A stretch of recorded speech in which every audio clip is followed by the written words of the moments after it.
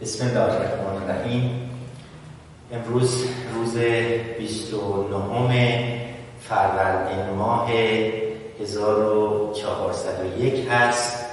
جلسه چهاردهم درس مکانیک سیارات در خدمت عزیزان هستیم. امروز بنا داریم که پیرامون کاربرد هیدروستاتیک پرشر دیستریبیوشن یا توضیح فشار هیدروستاتیک برای اثبات رابطه قانون ارشمیدس در محله نخست و بعد هم اشارتی داشته باشیم به اینکه اگر یک جسم معتبر بود در چه شرایطی تعادلش پایداره؟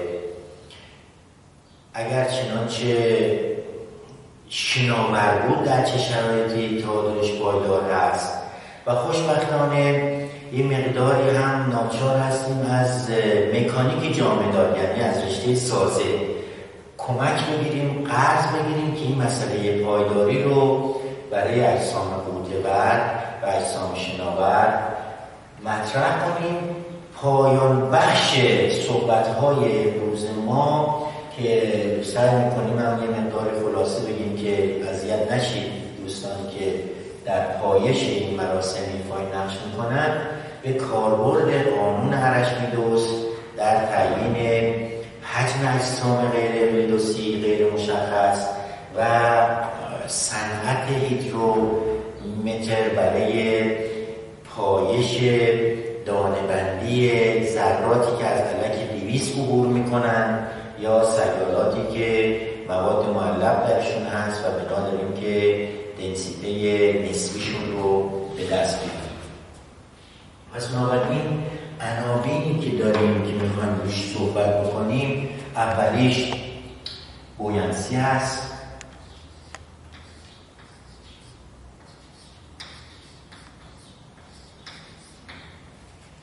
و به توی این شناور سازی می‌خوایم به بویند فورس اشارت داشته باشیم.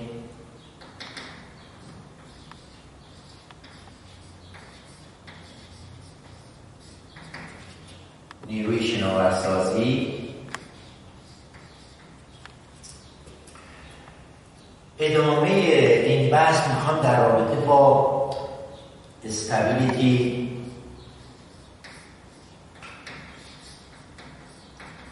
of submerged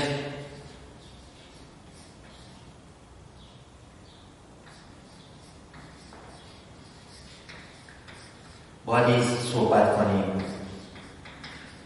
پایداری اجسام قوتور ادامش در خصوص پایداری اجسام شناور.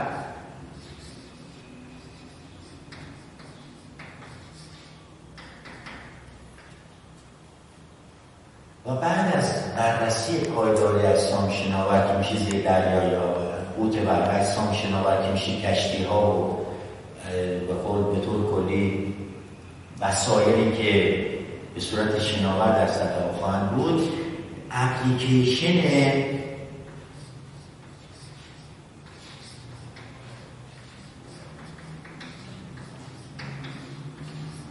application of buoyant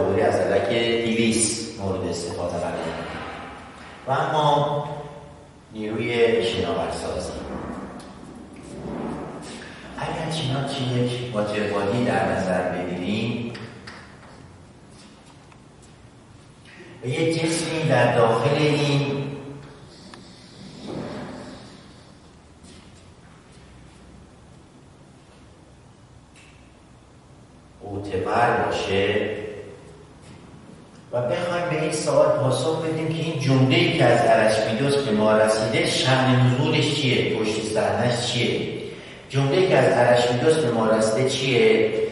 آقای ارشمیدس میگه اگر یه جسمی داخل یه سیاد قرار بگیره به اندازه وزن مایه هم هشتش از وزنش کاسته میشه. این حرفی که آقای اقلیدوس می‌زنه. میگم اقلیدوس می‌زنه. ارشمیدس می‌زنه. ولی ما می‌خوایم ببینیم اگر چنانچه ما فقط ایستایی سیارات خونده باشیم این الان هم سیار هم جس برای سکونت هیچ کدومش حرکت نداره. فقط با این آگاهی بخوایم به این سوال پاسخ بدیم باید چگونه حرکت بکنیم. دقت بفرمایید. اگر ما از نیروی ارشمیدس صحبت می‌کنیم نیروی شناورسازی صحبت می‌کنیم باید سه تا ویژگی از این نیرو رو برای خواننده برای بیننده برای audience مشخص کنیم. اول بگیم magnitude نیرو چقدره؟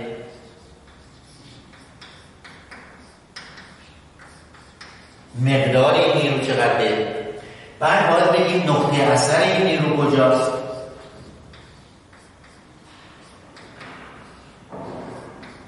point of action ش کجاست؟ و در آخر هم بگیم راستای اثرش کجاست؟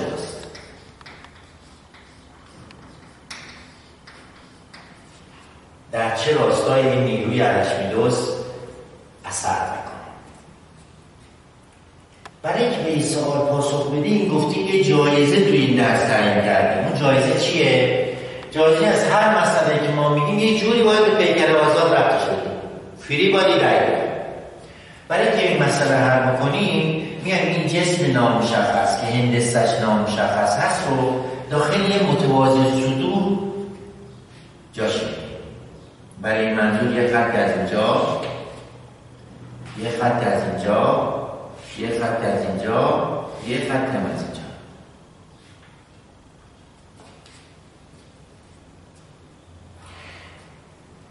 به جای اینکه بریم پیکر آزاد رو برای جسم ترسیم بکنیم میاد پیکر آزاد رو برای سیاری که بین جسم و این متوازی سطوح قرار گرفته ترسیم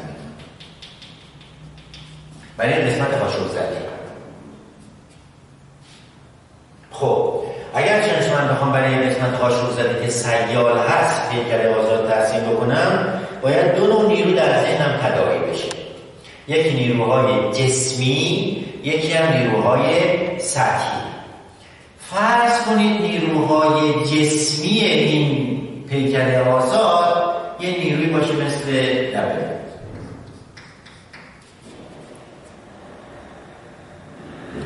برای ترسیم نیروهای سطحی باید ببینم من کجا این پیکر آزاد رو از محیط اطرافش جدا کردم. هر جایی که این جسم از محیط اطرافش جدا کردم باید اثر محیط اثر رو بزنم. یکی اینجا جدا کردم باید بیام اثر رو بزنم.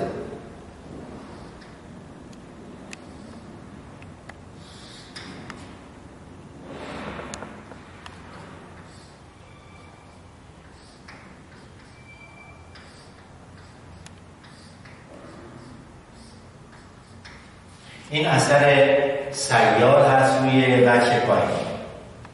یکی اینجا جدا کردم. باید بیام اثر اطراف رو روش بزنم. بعد چون اینجا هم دارم از محیط اطراف جداش می‌کنم باید اثر اطراف رو روش بزنم. دقت بفرمایید که پیکر آزاد برای جسم ترسیم نمیشه بلکه پیکر آزاد برای آبی که محصول هست بین جسم و متوازی سطوح ترسیم میشه. دقت بکنید از این تا اینجا باید اندازه هم باشن از این تا اینجا باید اندازه هم باشن. چون هر دوتاش مربوط به این میشه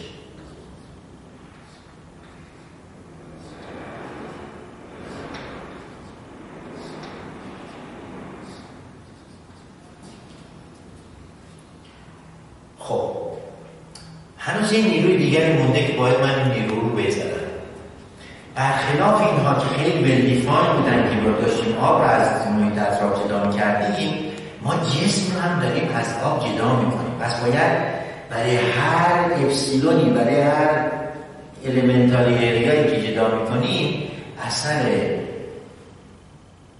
جسمی که از آب جدا میشه روش بذاریم حالا اگر چنانچه این اثر اینجوری باشه اینجا بعد اینجا اینجوری باشه بعد اینجا اینجوری باشه بعد اینجا اینجوری باشه که نیروی گسترده هست می‌تونیم بگیم ما نمی‌دونیم جهت این نیروی برایند کجاست یا مقدارش می‌دونیم چقدر هست. بیاییم بگیم مثلا یه نیروی اینجوری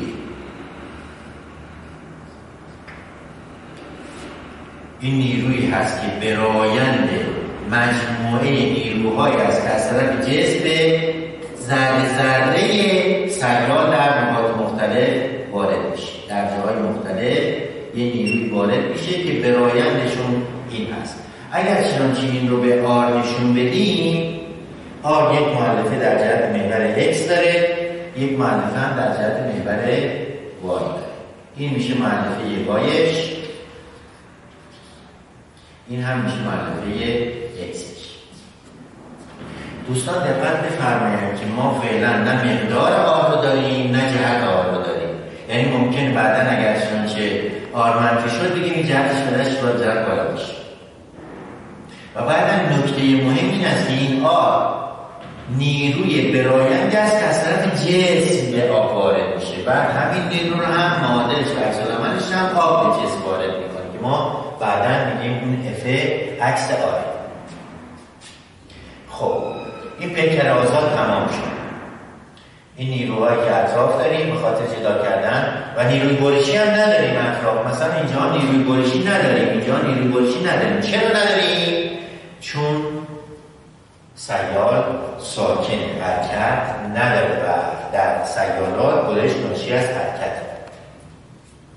اگر چنانچه بخوایم برایند این نیروها رو به دست بیاریم مثلا این میشه برایندش اینجا وسط برایند این میشه اینجا وسط برایند این میشه اینجا که پایین به سمت پایینه اینجا هم به سمت پایین. یه نامگذاری هم اینها بکنیم. این بذارمش F1 اینو بذارمش F2 اینو بذارمش F3 این هم بذارمش F4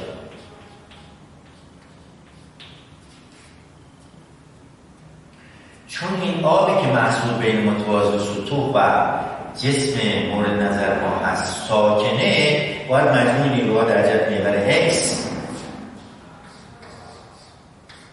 صفر باشه. مجموع نیروها در جهت محور Y هم باید صفر باشه. و مجموع لنگر ناشی از نیروهای خارجی هم حول هر نقطه ای باید صفر باشه. که این نه حرکت می‌کنه در دوران می‌کنه مثلا نقطه ها رو هم می‌تونیم مثلا اینجا بگیریم هر نقطه که بگیریم برایند نیرو باید اون نقطه صفر باشه. خیلی برای مجموع نیروها در محور x جهت مثبت انتخاب بکنیم. مثلا بگیم جهت مثبت ما هست. نیروهایی که در جهت محور اکس سنتان یکی F3 هست با علامت مثبت یکی آر X هست باز با علامت مثبت تو این شکل و یکی هم F4 هست با علامت منفی.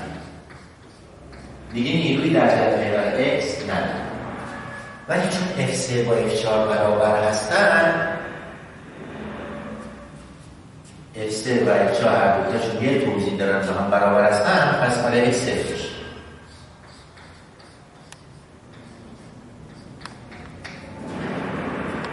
این آره اکسپ شدنش به ما میگه که این نیرویی که دنبالش بودی قائمه. افقی معلف افقی نداره یعنی آر قائم.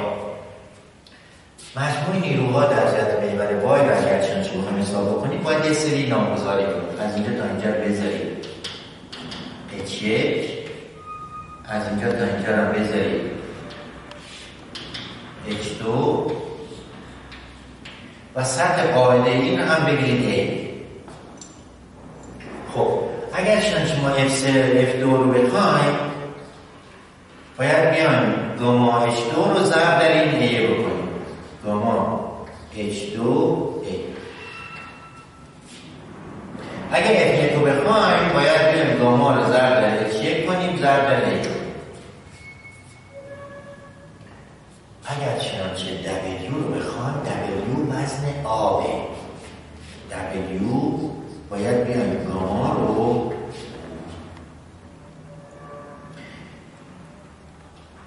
گامای آب رو ضرب بدن حجم آب کنیم. حجم آب چقدره؟ حجم آب هستش هست متوازی سطوح. حجم متوازی سطوح چی هست؟ هستش A در H2 منهای H1 این حجم متوازی سطوحه. باید این رو منهای چی کنیم؟ حجم جسم بکنیم. حجم جسم که B هست. حجم متوازی سطوح منهای حجم جسم ضرب دمای آب بشه میشه وزن آبی که محصول هست بین جسم و محیط درجه. عملا با مشخص شدن F1 و F2 و W و آروای هم که مشغولمون بود می‌تونیم بریم آروای رو به دست بیاریم. پس بنابراین مثال. جهت مثبت رو اینطوری بگیریم. می شود F2 و علامت مثبت منهای F1 و علامت منفی منهای آروای و علامت به طرف پایین فعلا تو این شکل منهای دلیل مساوی با این چهار تا نیروی هستن که در جهت محور وای اثر جایگزین کنیم مقادیرشون رو. به جای باید بزنیم گاما دو ضرب در این گامای آبه ضرب در A به جای اونم باید بزنیم گامای آب. ضرب در H1 ضرب در A. به جای آلفا که دنبالش هستیم. به جای دلیلی هم باید بزنیم گامای آب. در A. در H2 منهای H1 منهای B.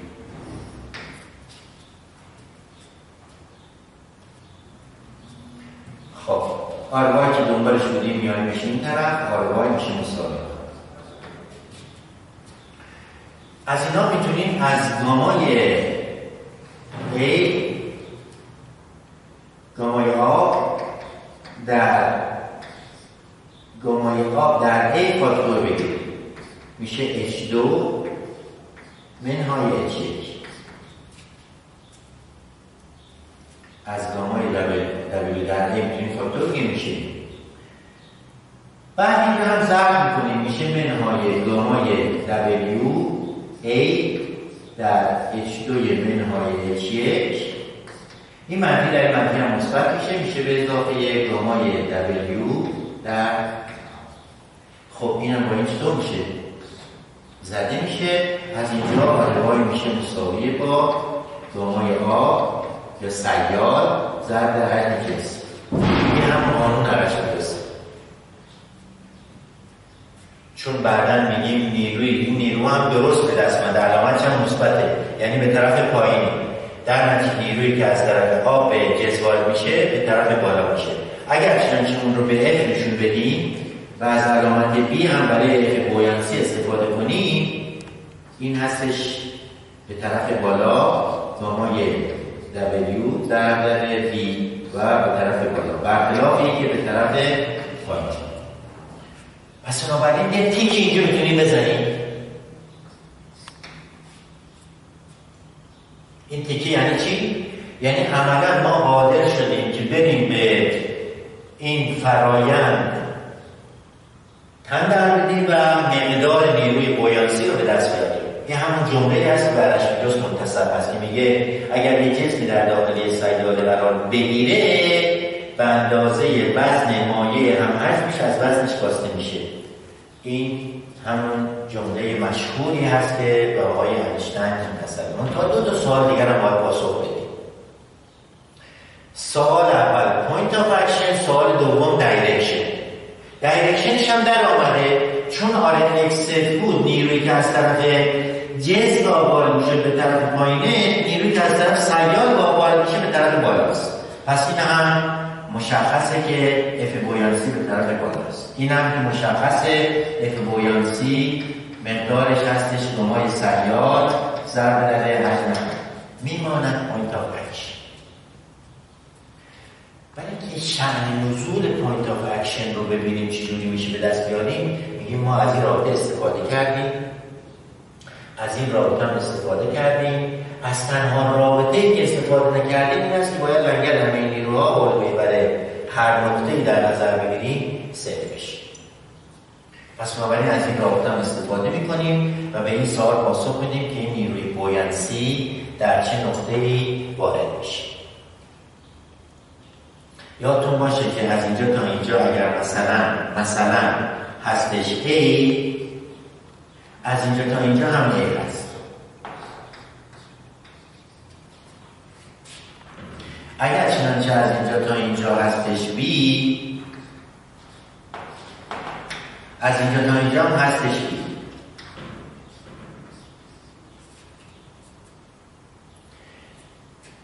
خب این دبلیوی که نیروی وارد در پیکر آزاد هست در سنتراف گراویتی این آبی هست که اینجا اثر می‌کنه که حالا اگر چنانچه من این رو هم به سی نشون بدم اینم تکلیف سی. چیزی که برام مشغوله حالا دیگه یاد گرفتم که این نیروی آر برای این پیکر آزاده به طرف پایینه و مقدارش هم فقط آلوایه مقدارش هست. این هم بذاریمش دی مشغول ما دیه. می‌خوام ببینیم این دیه مقدارش چقدر چجوری می‌تونیم به دست من برای به این سوال پاسخ بدم که مقدار دی چقدر هست اول میام یه یادآوری به استاتیک دارم براتون و بعد از این استاتیک استفاده می‌کنم. این هم شکل داشته باشید.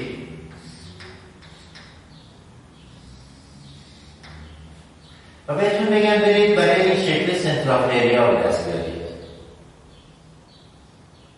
یعنی بگید اگر مثلا این سیستم مختصات باشه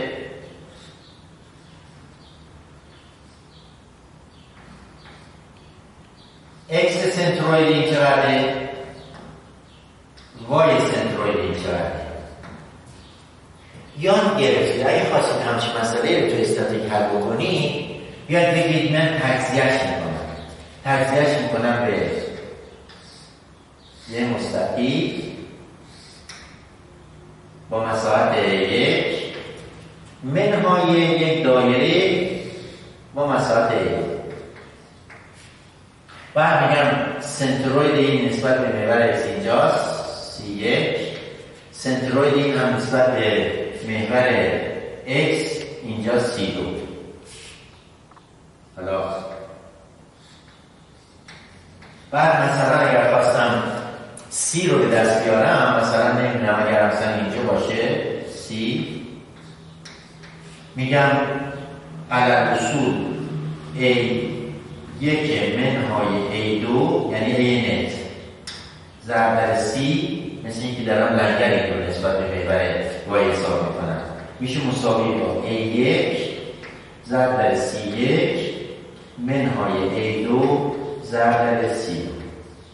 من یاد گرفتم که توی درس استاتیک اگه خواستم مثلا فاصله X C در واقع C هم X C هست.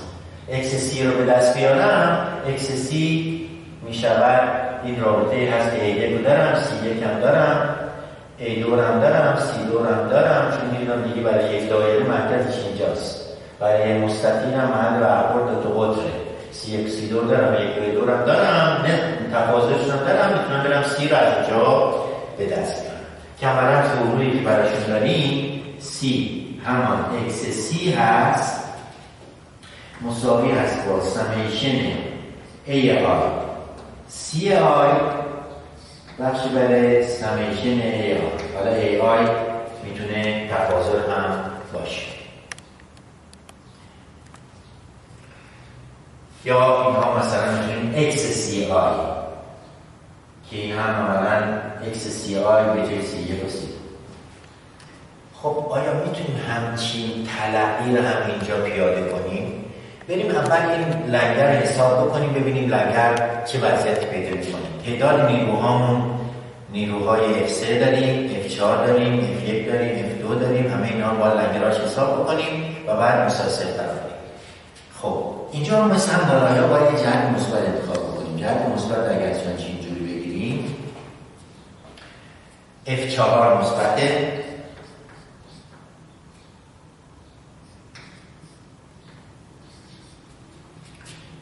F3 منفیه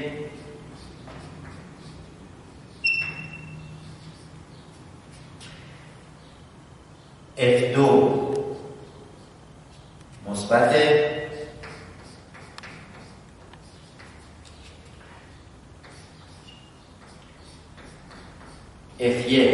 F1 منفیه این چهار تا نیروی که از بیرون بودن. W هم منفیه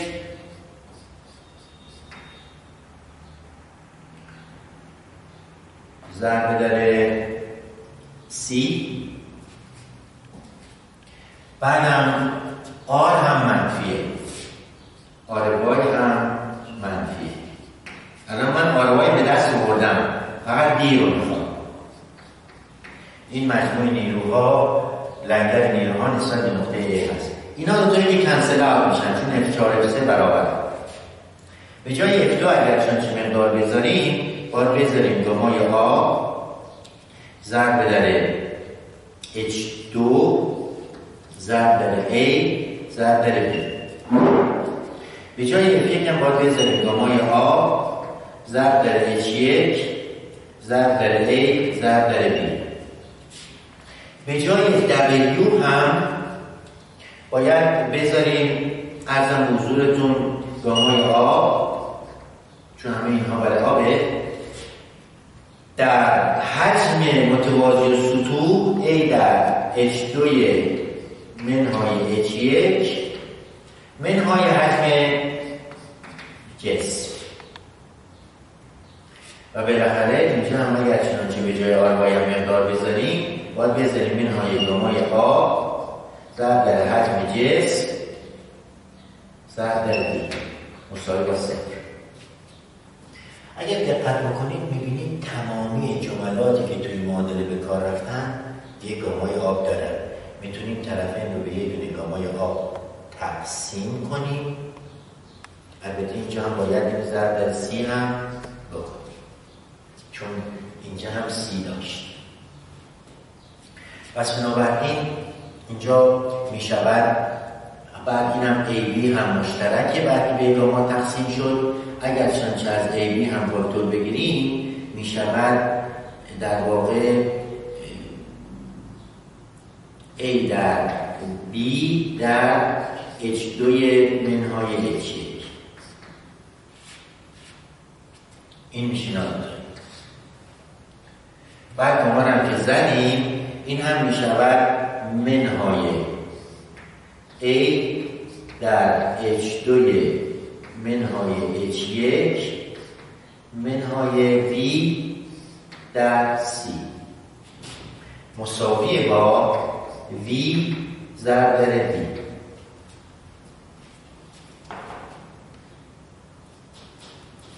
آیا ما می‌تونیم برای رابطه که اینجا نوشتیم یه تفسیر مثل قائل بشیم؟ یعنی بگیم چی؟ یعنی بگیم این جسمی که ما داشتیم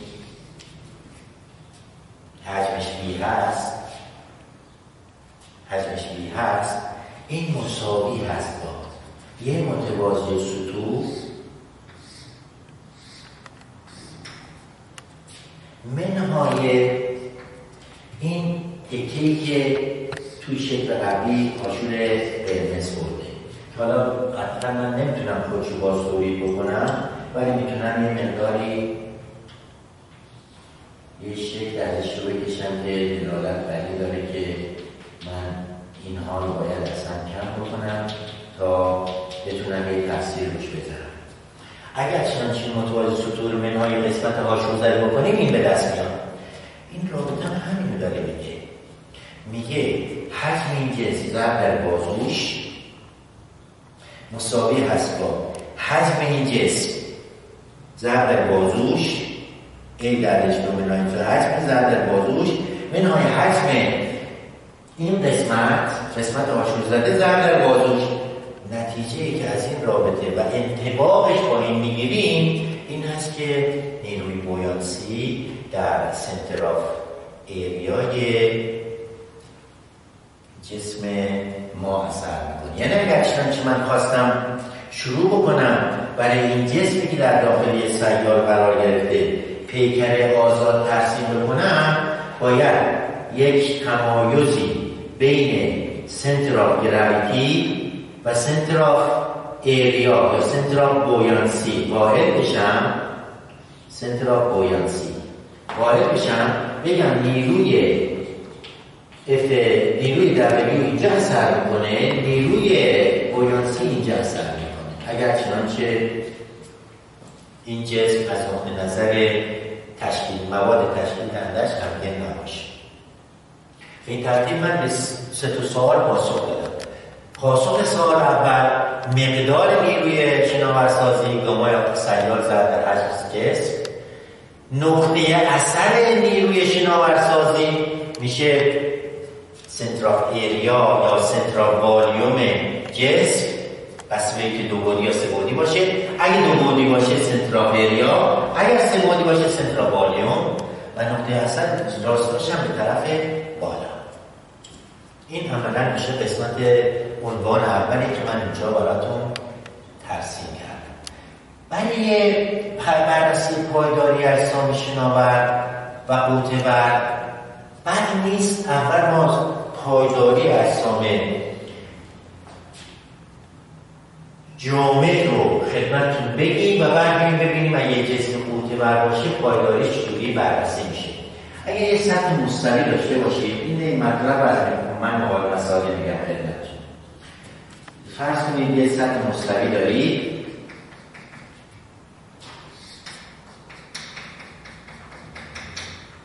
حالا این سطح مستوی سه تا گزینه براش مستقله تو اولی سطح مستویتون اینجوریه تو دومی سطح مستویتون اینجوریه. یعنی مستوی نیست. و سطح سومیتون هم اینجوریه.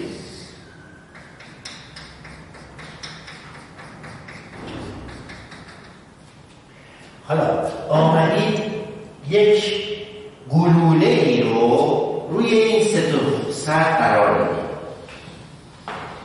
و خود پایداری گلوله رو بررسی کنید توی structural mechanics مکانیک جامدات اگر چنانچه قیلی به این گلوله بدید میری یکم برده وایس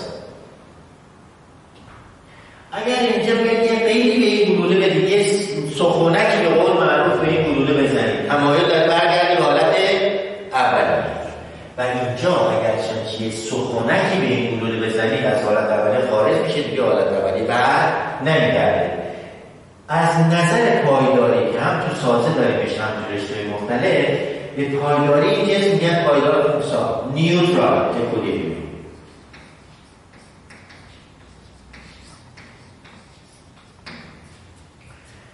به این گلوله که اگر از حالت تعادل خارج کنیم تمایل داره برگردیم به حالت اولیش میگیم استیبل اکولیبریوم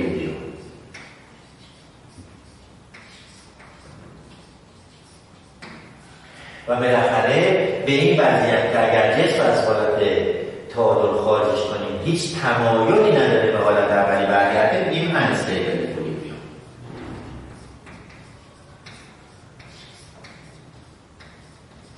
آیا ما از این مفهوم سگانه می‌تونیم استفاده بکنیم و پایداری از سام قوته و و بعدا بعدش هم شناور رو بررسی کنیم بله فرض کنید یک واتربادی دارید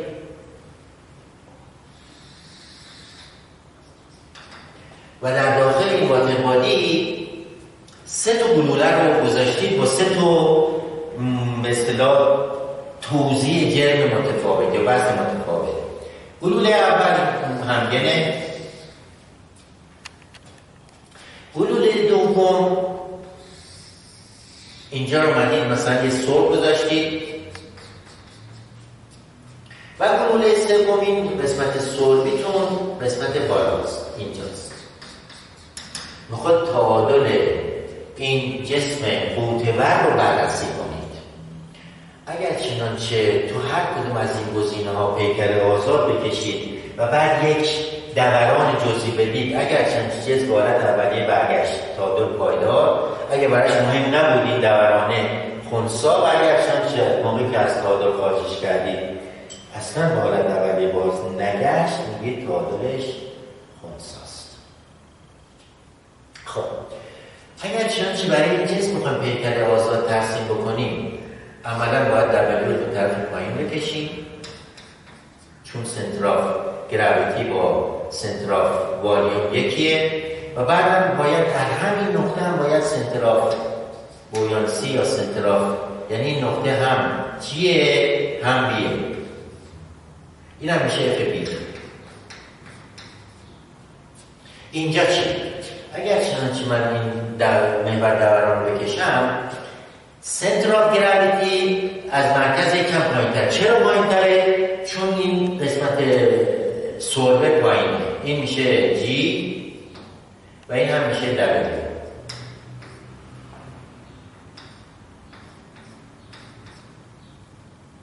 ولی برای اینجا سنتراف بویانسی یا سنتراف اریا یا سنتراف والیوم دقیقا هنوز مرکزه و به طرف بالاست برای شکل باز می‌بینید جیتون اینجاست و بیتون اینجاست.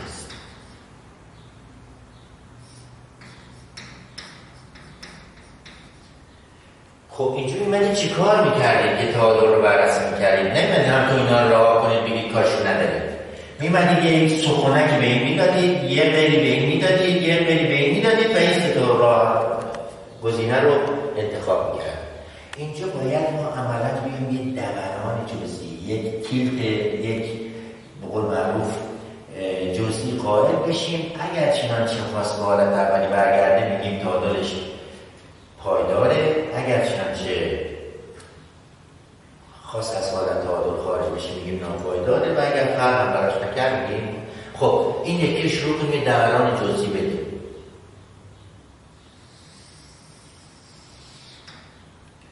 اگر چنانچه دوران جزئی بدیم چون جرم همگن پیش توضیح شده باز همین وضع پایین داشت. یعنی براش مهم نیست. یعنی تعادلش مثل تعادل این خونساست اگر این یه دوران جزئی بدیم یعنی مثلا به جایی که اینجوری باشه بیاریمش اینجا.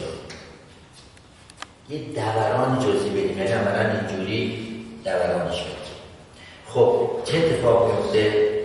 کماکان نیروی بویانسی اینجاست. ولی نیروی گرفتی اینجاست. جی. اگر دقت بکنید می‌بینید این یه کوب ایجاد می‌کنه چون دبلیو با اف بی هم برابره چون جز در حال تعادل دیگه اف بی با دبلیو برابره. یعنی یه کوب ایجاد می‌کنه که این کوبلو تلاش داره که این جز رو برگرده به حالت اولیت یعنی کوبله اگر چون من بخوام نشونش بدم یک کوبل اینجوریه. ما اینجوری دورانش دادیم در این جهت دورانش دادیم کوبله می‌خواد برگرده به حالت اولیه به این میگیم تعادل پایدار. اینجا اگر چنانچه بیایم.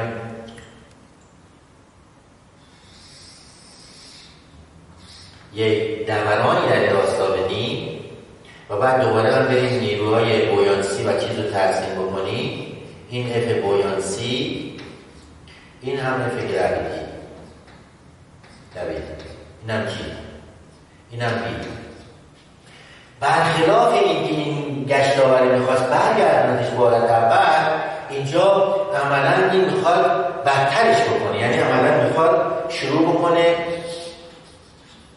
یه کوپی که ایجاد شده به خاطر که دیگه اینا هم راستا نیستن برگردن تکیه یادتون باشه که این تکیه آشوب زده سربی هست. این تکیه آشوب زده سربی هست. به این میگیم تعادل ناپایدار به این میگیم تعادل پایدار به این هم میگیم تعادل خونسا. آیا می‌تونیم این یه نسخه بپیچیم یه آینامه بدیم که بگیم در چه شرایطی تعادل خونساست در چه شرایطی تعادل پایداره و چه در چه شرایطی برای اجسام بر تعادل ناپایدار.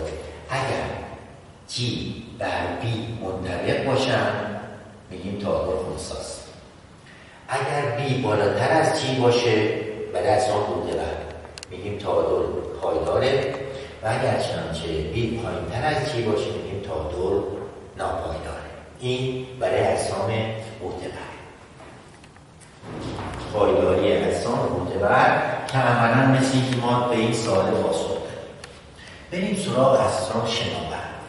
برای اجسام شناور این مقدار قضیه تره و حتما باید ما یه مقداری شکل رو با هم حلاجی کنیم ببینیم چه اتفاق میفته برای موقعی که جسم مثلا فرض کنید این جسم شناورتونه.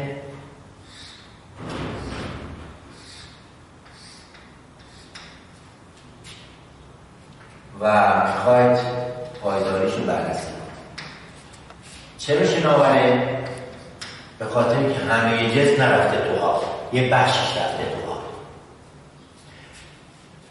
ها فرض بکنید که این جسمتون فعلا از نظر دنسیته همگنه یعنی یه جسم homogeneous ه با دانشی که از همین مباحث قبلی گرفتی میگید اگر من خواستم برای اینجا center of gravity رو مشخص کنم center of gravity باید بیام این دوتا رو هم وصل کنم این میشه center of gravity اگر چنانچه خواستم center of buoyancy یا center of area برای این جسم قسمت شناور رو مشخص کنم باید بیام این خطر رو هم وصل کنم و بعد برم برای این پیکر به اصطلاح محل برخورد تو رو به دست بیارم. این می شود ای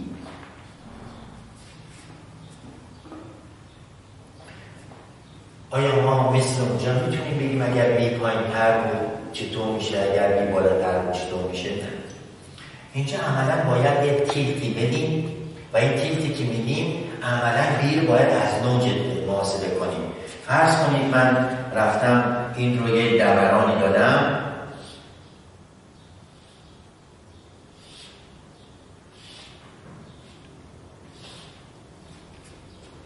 و این دورانی که دادم عملا یه همچی شکل برای من ایجاد کرده.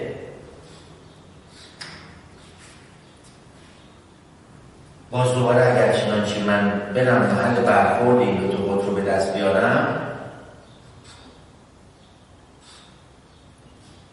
فرض کنید مثلا این جی باشه؟ یعنی نیروی دبلیو به طرف پایینه. منتها این بار دیگه من یک مستقیل ندارم که بگم برم شروع بکنم محل برخورد تو رو بگم میشه چیزی. باید بیام برای این شکلی که من اینجا با یه رنگ متفاوتی نشونش میدم.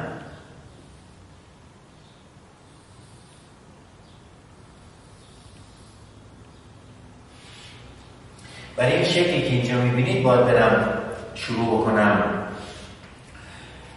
سنتراف ایریا رو حساب بکنم که خوشبختانه مسئله رو خدمتون رنگی اسکن کردیم دادیم و این کار اونجا انجام دادیم. حالا اگر چنانچه من سنتراف بویانسی یا سنتراف ایریای این شکل رو به بی نشون بدم عملا جی اینجوری اثر می‌کنه در اینجاست و بی هم اگر چنانچه این امتداد بی رو راستای بی رو ادامه بدم این نقطه برخورد می‌کنه که به این نقطه بگیم اسم این نقطه ام رو می‌ذاریم متا سنتریک هایت. از اینجا. تا اینجا رو میگیم متا سنتریک هست مثلا برای اجسام شناور مثل کشتی ها باید به این ترجمهش بشه مثال خدمتتون توی ایمیل ارسال کردم بیشتر مربوط به یه برم هست که اول اینجوریه و بعد دورانش میدیم. می‌خوایم ببینیم وضعیتش پایدار ناپایداره. اگر چنانچه از اینجا تا اینجا ال باشه از اینجا تا اینجا هم ال باشه و از اینجا تا اینجا هم اچ باشه می‌خوایم ببینیم برای چه مقادیری از ال روی اچ تعادل این برم پایداره. برای چه مقادیری از روی اچ تعادلش خونساست و برای چه مقادیری از روی اچ تعادلش ناپایداره؟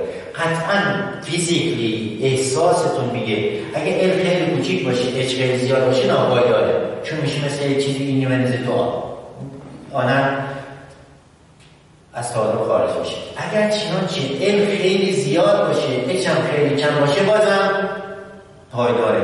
اگر ال روی چه مقداری باشه که عملا تعادلش خونساست ما تو این مثالی که خدمتتون حل کردیم حل بهتون گفتیم.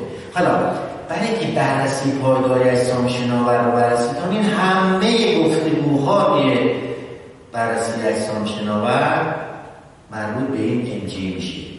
اگر ام بالای جی باشه تعادل پایدار. اگر M پایین G باشه تعادل ناپایدار و اگر بر G منطبق باشه تعادل خونساست پس بنابراین M G metacentric اگر مثبت باشه یعنی M بالاتر از G باشه stable equilibrium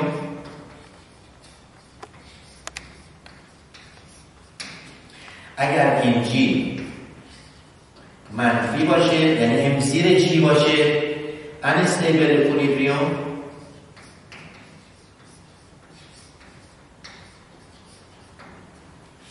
و اگر M G مساوی با صفر باشه یعنی بر هم منطبق باشن M و G neutral equilibrium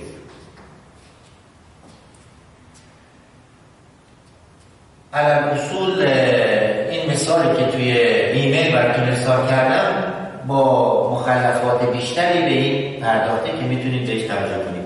من تنها آیتم باقی مونده این اپلیکیشن هست که یه اشاره هم به این خواهم کرد و همگی رو به خدا بسپارم فرض کنید یه جسم نامشخص به شما دادن و گفتن برید حجم این جسم دنسیته این جسم مثلا یه همچه جسم ولی این هندسه ویروسی نیست. ما می‌خوایم ببینیم چجوری می‌تونیم حجمش رو به دست بیاریم. گاماش چجوری می‌تونیم به دست بیاریم؟ وزنش رو چجوری می‌تونیم به دست بیاریم؟ حالا وزنش که علم اصول میگیم با ترازو وزن می‌کنیم. از قانون هرشمیدوس می‌تونیم استفاده کنیم و به این سوال پاسخ بدیم که حجم این جسم نامشخص رو چجوری می‌تونیم حساب کنیم. اگر دو تا سیار انتخاب کنیم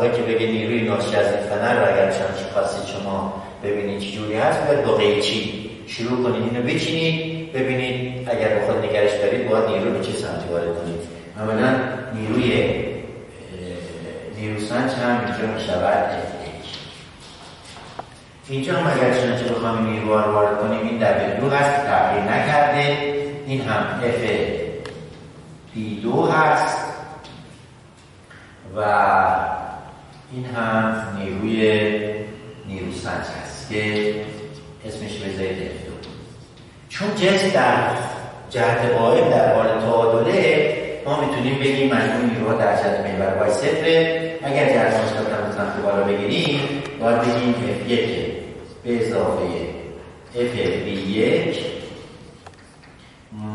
مسلم های دبلیو مساوی با صفر. این برای این برای اون هم باید بگیم F2 به اضافه F2 منهای W مساوی با صفر. حالا عملا خب این F1 رو که نیرو سنج به ما میده. به جای F1 می‌تونیم بذاریم گاما یک ضرب در B پس بنابراین F1 به اضافه گاما یک ضرب در V حجم سرجسم منهای W مساوی با صفر. برای دومی هم باید بنویسیم F2 به اضافه گاما دو ضرب در V منهای W مساوی با این عملا اگر دقت بکنید دو معادله هست با دو تا مجهول. چون F1 رو داریم من با قرمز اگر چنانچه نشون بدم F1 داریم گاما یک هم داریم V و W مجهوله. اینجا هم F2 رو داریم گاما دو هم داریم V و W مجهوله. از اینجا می‌تونیم بریم V و W رو به دست بیاریم. V و W رو به دست بیاریم. اگه گاما رو خواستیم به دست بیاریم باید بیایم W رو به چی تقسیم کنیم؟ به V تقسیم کنیم یا اگر رو خواستیم به دست بیاریم باید J رو به W به تقسیم کنیم. یه استفاده دیگری هم برای قانون پرشمیدوس در اسمان مترتب هست. که این هم خدمتتون میگم و همگی رو به خدا میسپارم. یک ظرف رو امروز با خودم آوردم سر کلاس که یه مقداری توضیحاتم ملموستر باشه با این ظرفی که خدمتتون معرفی این ظرف داخلش عرق هست. البته نه مشروب منظورم منظورم ترکیب بیلیمش و نسترنه. و یه مقدارم خاکی می‌تونیم داخلش که عملا بتونیم رس رو شبیه سازی کنیم. یعنی بگیم این اگر چنانچه کاملا مخلوطش بکنیم این موادی که زرد اینجا ببینید موادی هستن که از حرک دیویس عبور کردن و ما شروع بکنیم. دانه بندی ذرات عبوری از حرک دیویس رو دست داریم البته اینجا هم که ملاحظه کردید به خاطر که این ذرات نسبتا درشت هستن سریع تو من تخمیش دادم بعدش نگرش داشتم اینها سریع تنشین می‌کنن. ولی برای ذرات لای که خیلی خیلی ریس هستن و وزنشون تقریبا ناچیزه مدتهای مدیدی طول می‌کشه تا این صنعت هیدرامتر من اینجا میبیسم هیدرامتر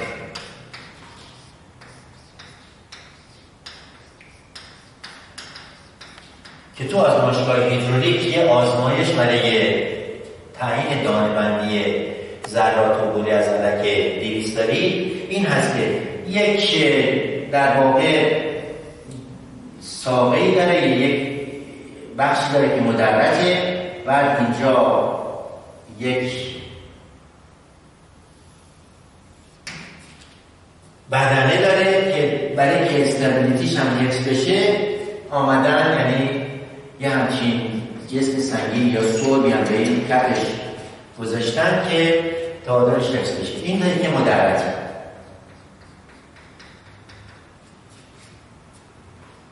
خب اگر ما بیایم یک ظرفی رو که می‌خوایم دانبندی ذرات و بوری از علک دیویس رو به دست بیاریم از یک سیاری که اسمش سیار پرمنگنات منیزیوم هست پر کنیم و بعد اون مواد عبوری از طرف دیویس هم داخل این بریزیم بعد با یه همزنی هم کاملا همش بزنیم. یعنی یک ترکیب همگنی از مواد عبوری از علک دویست و سیال پرمنگنات منیزیوم رو اینجا داشته باشیم. بعد شروع بکنیم این هیدرومتر رو با این مشخصات رو داخل این قرار بدیم.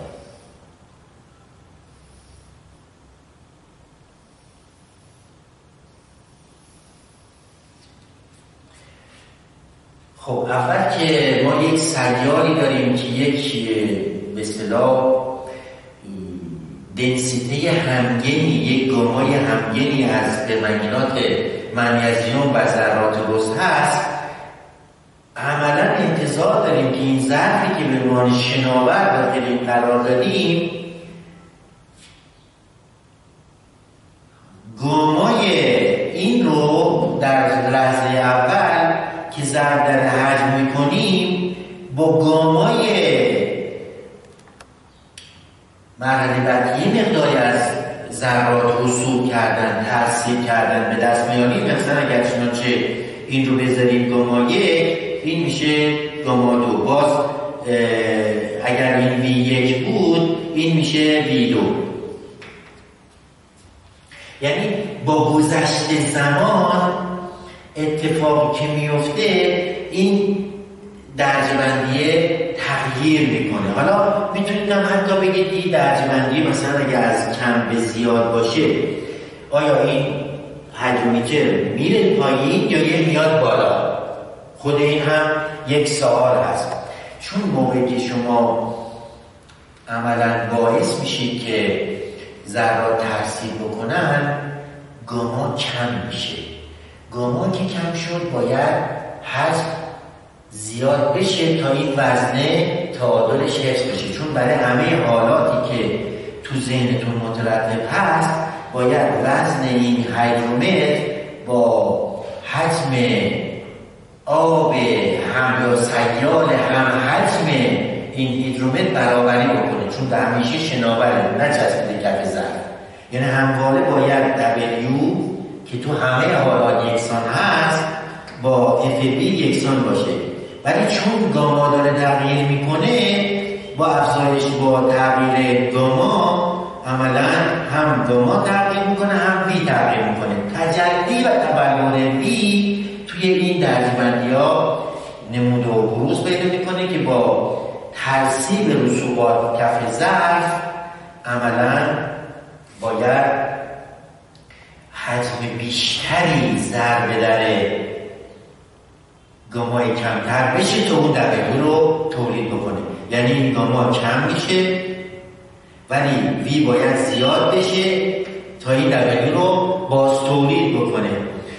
با درجه بندی که روی این هست ما می‌تونیم هر لحظه دنسیته این سیار رو به دست بیاریم. و با کالیبراسیونی که این دستگاه انجام شده روش این هیدرومتر انجام شده ما می‌تونیم پی به دانه بندی ذراتی پیدا کنیم که به تدریج کف ذر ترسیب میشن یادتونم باشه موقع که ماده روسی رو با این ترکیب می‌کنی عقل سلیم حکم می‌کنه که اول ذرات درشت ترسیب بکنن بعد ذرات یک کمی ریستر بعد ریستر بعد ریستر و آخرین مرحله ذراتی که دیگه خیلی خیلی وزنشون کم هستن. و با این ترفن ما می‌تونیم از آزمایش هیدرومتر استفاده کنیم و یک